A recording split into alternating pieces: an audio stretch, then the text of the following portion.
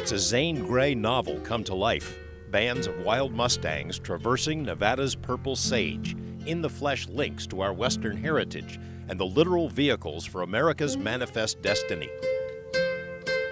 It's hard to avoid cliche sentimentality when you see them, not on a television screen, but in person, living free on the land.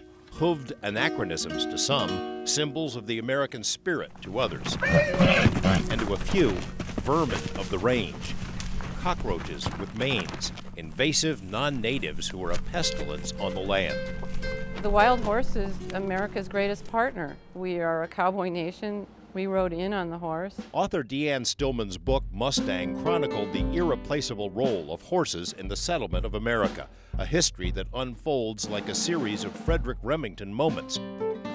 Horses carried the earliest explorers, miners, and mountain men, the soldiers who tamed the frontier, the Indians who resisted. The wild horse blazed our trails, uh, fought our wars, has been on the front lines with us since day one. It's so much a part of our heritage and who we are as Americans.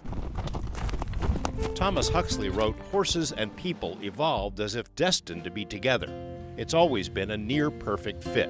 But when machines started producing horsepower, the Mustangs became an inconvenience. The argument is now made that wild horses are interlopers, the offspring of outlaws and runaways, with no place in the natural order.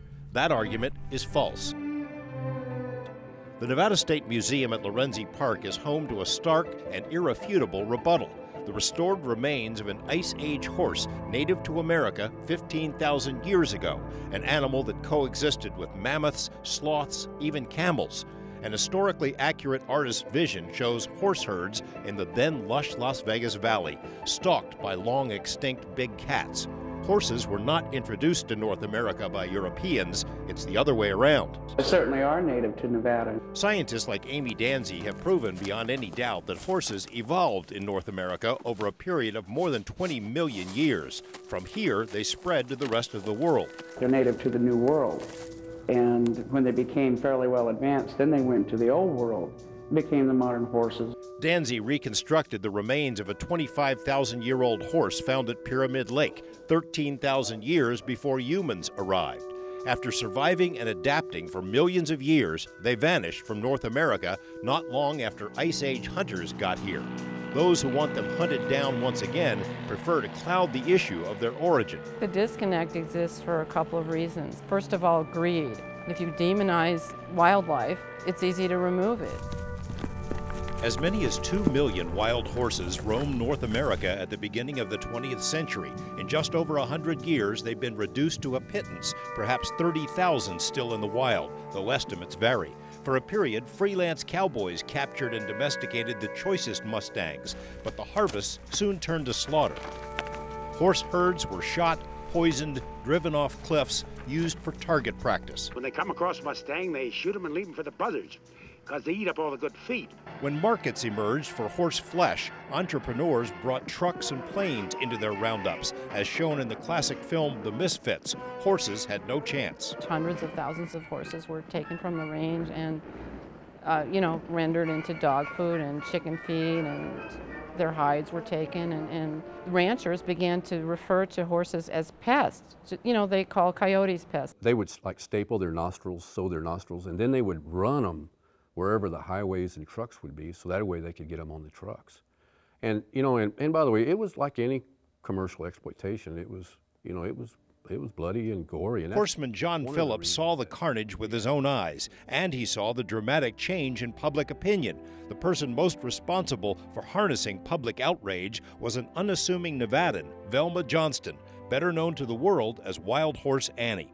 She got the public so riled up that Congress passed the 1971 Wild Horse and Burro Act without a single dissenting vote.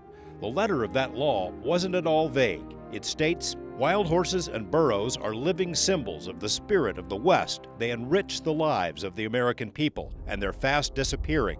It's the policy of Congress that wild horses and burros shall be protected from capture, branding, harassment, and death.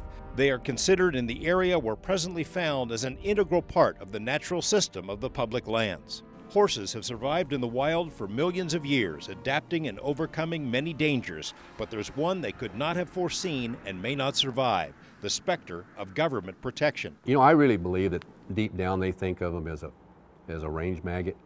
You know, uh, they're a pest, they're a feral animal, they don't belong. When John Phillips accuses the BLM of being hostile to wild horses, he speaks from experience. Phillips was one of the very first wild horse specialists hired by BLM after the 1971 Act went into effect. Back then, BLM wranglers spent their time in the saddle, not in the office. But from the very beginning, Phillips alleges, top management fudged the facts, inflating the numbers of horses, exaggerating their impact on the land, and always putting horses second or third to perceived rivals, especially cattle.